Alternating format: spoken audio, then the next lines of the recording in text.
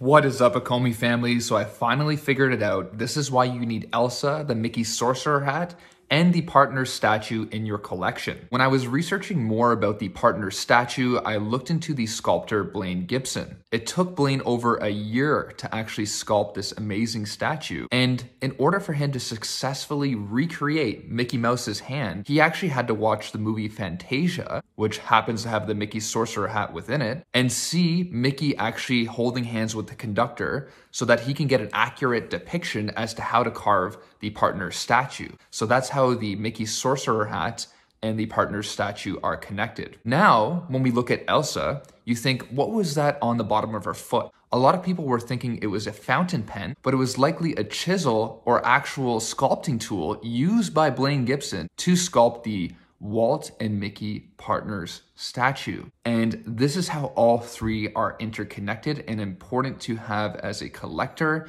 And trust me, long term, a lot of collectors will go crazy over this kind of thing. So this is really a perfect story. And I do believe all three in this set will hold major significance long term. So thanks for tuning into this quick video, everybody, and happy collecting.